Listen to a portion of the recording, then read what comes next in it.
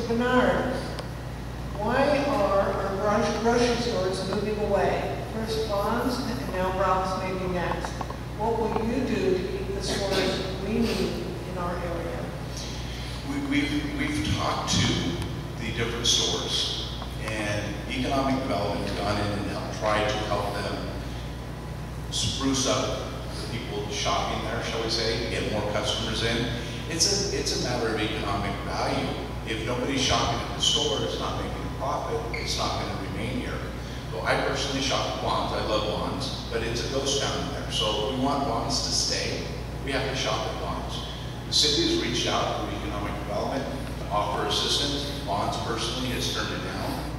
Uh, Ralph's did open up their, their ideas and all the uh, publicity about the Ralphs got people to start going back there and shopping there. So if we want Vons to stay, we need to go shop at Vons.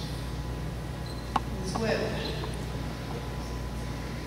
Can you repeat the question one more time, please?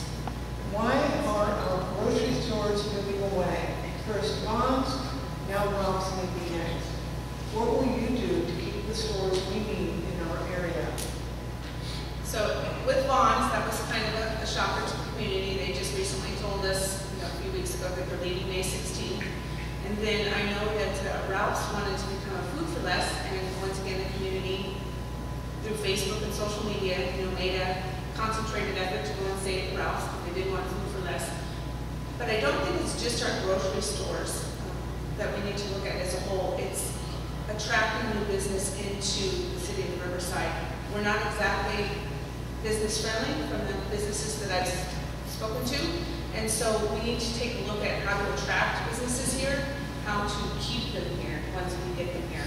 But that is a slippery slope. Like I said, I- I've spoken to many small business owners and they say there's a lot of red tape. I've spoken to people that want to put gas stations and other things here in Ward Seven in the city and they'll take their specific plans to the planning department and they get turned down with no way to come back and fix it to make it happen. So I think once, again, it just goes back to communication. Thank you. Mr. Bernard, thirty seconds?